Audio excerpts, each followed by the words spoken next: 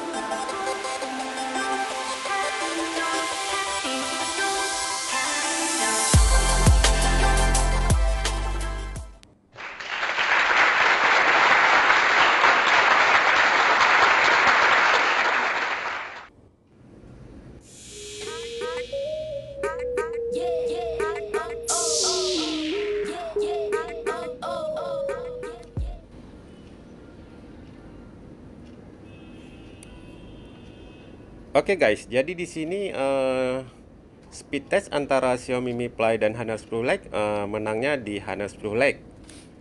Untuk Xiaomi Mi Play prosesornya MediaTek Helio P35 lawan dengan prosesor Kirin 710. Dan kemenangannya ada di Honor 10 Lite. Oke guys, selamat menonton.